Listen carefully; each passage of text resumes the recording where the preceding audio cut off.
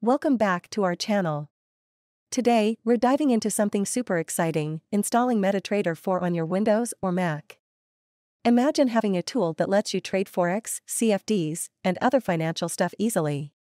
Well, that's what MetaTrader 4 is all about. And guess what?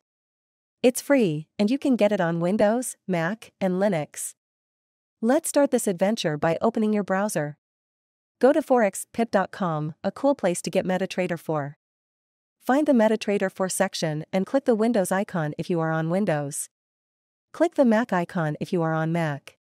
As you wait, the software is downloading. Once it's done downloading, find that .exe file you got. Run it, and if your computer asks if it's okay, just click on the Yes button.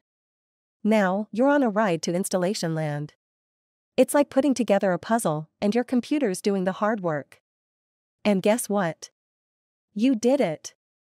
Your computer is now a trading powerhouse armed with MetaTrader 4. Let's create our first demo account on MetaTrader 4. Follow the steps. Go to File. Open an account. Select your broker.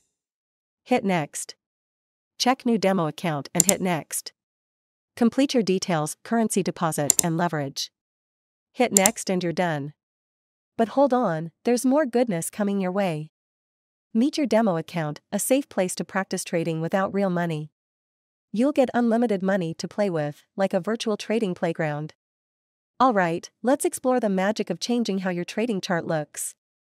Right click on your chart and pick Properties. Look at you, personalizing your chart like a true trading artist. Colors, shapes, you're designing your trading vibe. And that's it for today's video.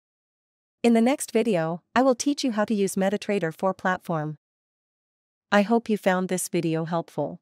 If you have any questions, please leave a comment below. Thanks for watching. If you enjoyed this video, please subscribe to my channel for more trading content. And don't forget to like and share this video with your friends. See you next time.